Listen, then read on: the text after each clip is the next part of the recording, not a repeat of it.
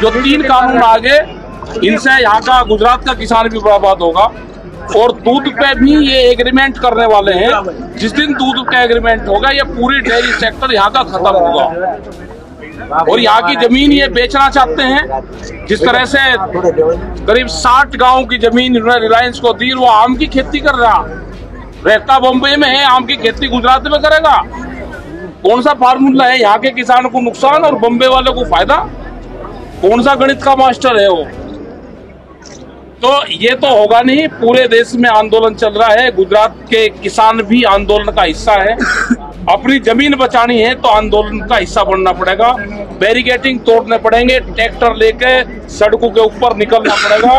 अपनी फ़सलों को डीएम के यहाँ, अपने पटाटो को डीएम एसडीएम के ऑफ़िस पे बेचना पड़ेगा। आंदोलन जब होगा। सर एक क्वेश्चन हमारा है हाँ। दो हज़ार उन्नीस में जब मैनिफेस्टो में कांग्रेस ने लिखा था खेडूत संशोधन बिल का हाँ। उस टाइम विरोध नहीं हुआ हाँ। और जब बीजेपी ने ये विरोध लगा। कानून पास किया उससे विरोध हुआ। उससे आप क्या कहना चाहते हैं और वो तो चली गई ये जब और तो मैनिफेस्टो तो कांग्रेस का था जब- और आप गुजरात में आए तो उनका समर्थन लेके आए हो हम तो आए नहीं कौन है उनके समर्थन में तो है ही नहीं वे होते तो ये देश की बड़े बड़े बैनर लगे हुए गुजरात में। वे होते तो देश की हालात ही नहीं आज बापू के बैनर लगे हुए हाँ हैं तो बापू के बैनर लगे हुए तो हैं। किसान बनाएँगे उन्हें बापू को तो? अब क्या उनकी सरकार है? ये बीजेपी वाले जब साथ में थे हमारे और इन्हें कहा 2019 का कि- मैनिफेस्टो तो उनका ही था। आगे का प्रोग्राम क्या है? आगे आप कहाँ पे जाओगे? देखो वे वे थे हाँ। वे थे अच्छा। वे लेकर आए थे। हाँ। ठीक है? हाँ। तो चले गए। तो उस टाइम इलेक्शन में तो सर वो वे चले गए। तो। वे लेकर आए चले गए। आंदोलन होगा जो भी लेकर आएगा वो चाहे कोई हो। अगर किसान के विरोध में लेकर आएगा हम उसके विरोध में खड़े होंगे। हम सरकार का विरोध करेंगे जो भी किसानों के खिलाफ लेकर आएगा वो कोई पार्टी हो हम उसी का ही विरोध करेंगे। तो सर, हम किसी के हुए थोड़ा है। आपने सर बोला था हमारे मंच पे कोई आगे का आपका क्या प्रोग्राम आगे का ये है कि देश के देश के किसानों के लिए आंदोलन जो चल रहा है गुजरात को भी उसके साथ में यहाँ के समाज को उठना पड़ेगा आंदोलन करना पड़ेगा। डरने की ज़रूरत नहीं है।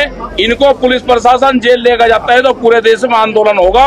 इन किसानों को दबने नहीं देंगे जेल नहीं जाने देंगे। इनके लिए आंदोलन होगा। जी ये जो आप जो आंदोलन करें जनता तक जनता है। है? जो है, प्रेस अगर ठीक दिखा देगी तो है। प्रेस तो है। प्रेस भी बंधन में है प्रेस अगला अगला आंदोलन प्रेस अभियान भी चलेगा।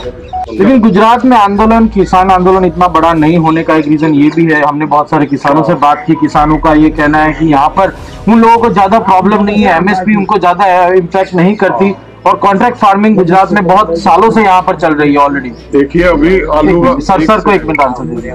देखो आलू का किसान यही तो कॉन्ट्रैक्ट फ़ार्मिंग कर रहा था, उसके खिलाफ मुकदमे दर्ज हुए थे। अगर पूरा देश उस टाइम पर ना खड़ा हो गया होता तो वो जेल में जाते किसान।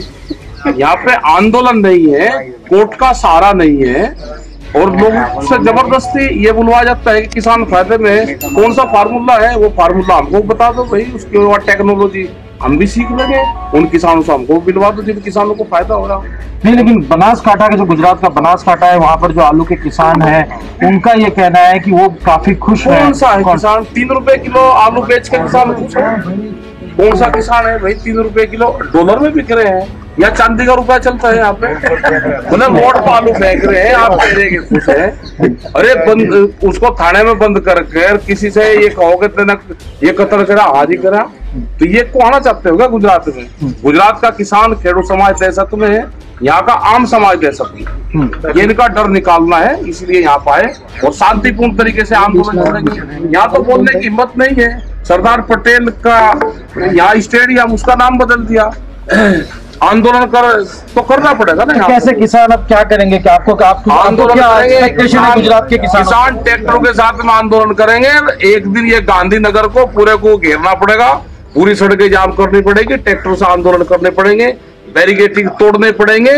जब उसके बाद में यहाँ पे आंदोलन की शुरुआत होगी। तो आप एक तरफ़ एक तरफ़ आप ये कहते हैं कि आपका जो मूवमेंट है वो नॉन पॉलिटिकल है। हाँ। और दूसरी तरफ़ आप बहुत सारे पॉलिटिकल लीडर्स के साथ भी दिखते हैं पॉलिटिकल लीडर कल भी आप हाँ, हमारे साथ तो कोई आता ही नहीं पॉलिटिकल वाले तो हम ढूंढ रहे कहाँ आए तो मिले ही नहीं मैं मिलो भैया क्या जी आपने कहा टैंक ट्रैक्टर और ट्विटर से लड़ाई जो है हाँ, लड़ाई बढ़ सकती है। कैसे और उसके क्या रूपरेखा आपकी होगी? भाई टैंक अगर नहीं होगा तो देश की सीमाएँ की रक्षा कैसे होगी? और ट्रैक्टर नहीं होगा तो खेती कैसे होगी?